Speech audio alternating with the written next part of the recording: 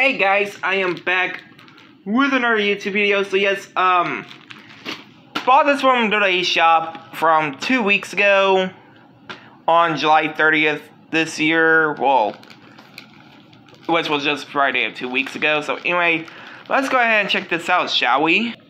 Okay guys, so I want to give a shout out to WWE Shop for sending me this. Well, I actually bought it, so uh, whatever. Um, so anyway, guys, so this is actually the new John Cena wristbands I told you guys about.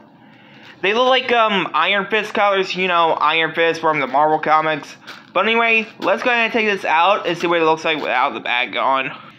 So alright guys, so we got this one was Hustle, Loyalty, Respect, and a little bit of the scuff there. You can't see me and never give up symbol.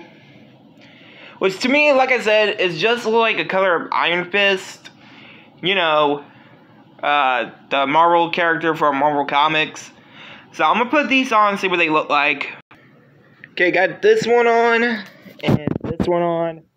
I'm not gonna put the head head armband on because everybody knows what I look like with the armband on. I mean, look at the other ones right there. And no, I did not get the hat. I might have to get the hat shortly. But anyway, guys, like, comment, subscribe.